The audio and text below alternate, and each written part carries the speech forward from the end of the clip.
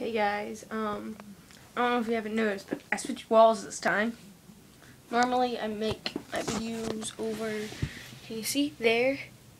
But now, I'm making it here, by the door.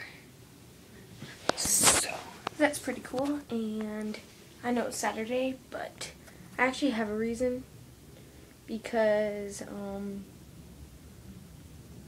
it's actually a real reason, but I just can't remember right now because I'm kind of overexcited. I actually grew.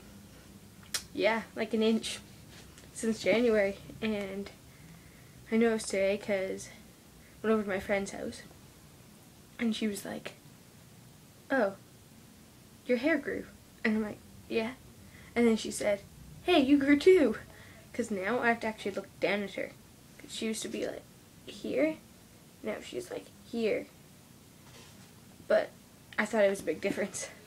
So everything just grew overnight. But so my reason was I was at a party. It wasn't really a party. It was kind of a fail party because there was only like four guys there, and then me, my sister, and her sister friend.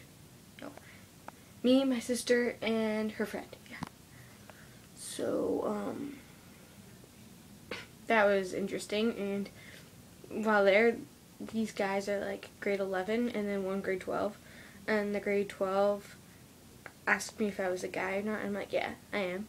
And he said because you have kind of a girly voice and I'm like I know.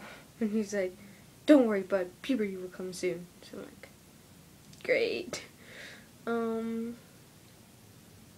so anyways uh I'm supposed to do a topic gotta remember what the topic is.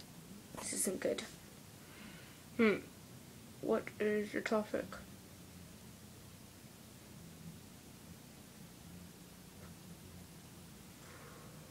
I don't remember.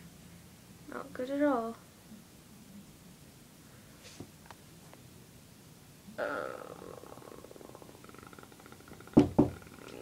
yeah? I don't have any rice, but there's some noodles. Do you want me to put it on